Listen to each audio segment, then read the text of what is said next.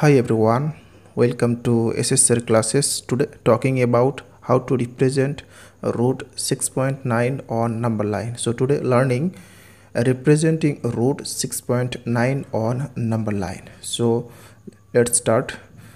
First of all, drawing a line of any length and this is AX line. Okay.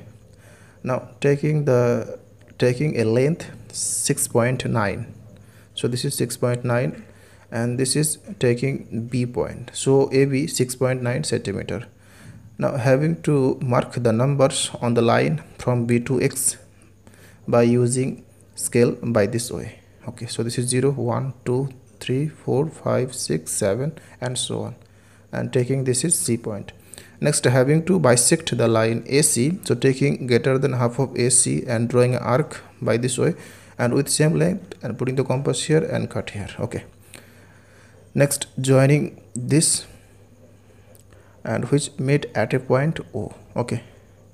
Now taking the distance oa and oc to draw a semicircle through the point a and c. Okay. So now having to construct a 90 degree angle on the point b by using protractor. So drawing a 90 degree angle on the point b. Okay. Next joining this and which made the semicircle at a point d now joining o and d. Okay. Now taking the length bd by compass to draw a arc which made the number line at a point p and this is the representation of root 6.9 on number line. Okay. Now roughly discussing the calculation. Okay. So given ab equal to 6.9 centimeter bc equal to 1 centimeter. So we can write ac equal to 6.9 plus 1 so 7.9 centimeter. Now radius oa oc and od equal to we can write 6 7.9 by 2 centimeter.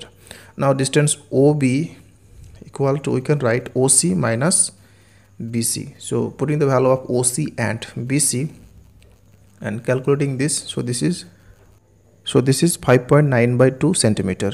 Now from right angle triangle obd we can write bd equal to root over by Pythagoras theorem OD square minus OB square. So now putting the value of OD and OB next I am going to use a formula a square minus b square equal to a plus b and a minus b. So here applying the formula first okay. So from from this so this is 13.8 by 2 into 2 by 2 okay. So equal to 6.9 centimeter. Okay. Therefore distance bd and bp are equal.